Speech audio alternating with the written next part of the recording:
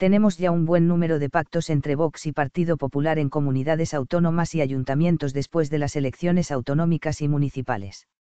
Yo he visto que los pactos se van cumpliendo, a su ritmo, pero se van cumpliendo, si no todos se van a cumplir por lo menos muchos de ellos y el Partido Popular no está poniendo pegas por el momento.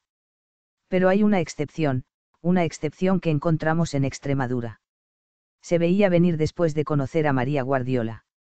Pues bien, el Partido Popular de Extremadura ha dicho que no va a recortar las subvenciones a sindicatos y a patronales en Extremadura, cosa que estaba pactada con Vox.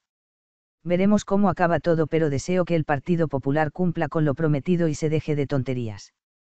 La verdad siempre he preferido gobiernos de Vox en solitario.